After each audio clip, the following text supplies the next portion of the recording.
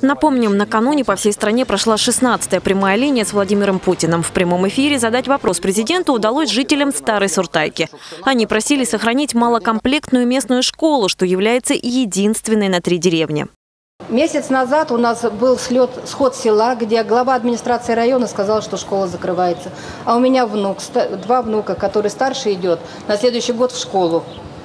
А куда он пойдет, если школу закроют? Нам придется все продать и уехать отсюда. Я не хочу уезжать. Мы 40 лет прожили здесь. Если школу закроют, село умрет.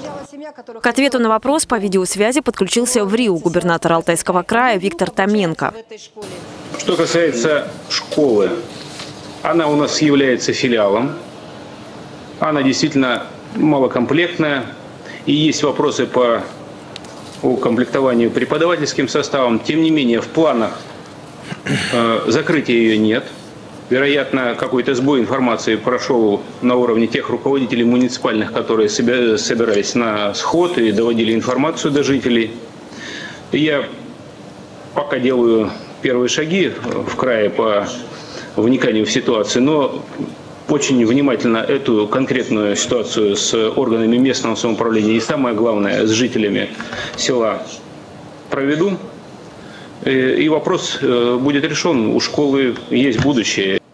После прямой линии с президентом Виктор Томенко направил старую Суртайку в Рио заместителя председателя правительства края Надежду Капуру. В данный момент она изучает ситуацию на месте.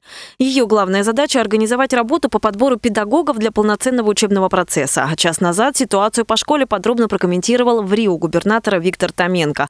Об этом в вечернем выпуске.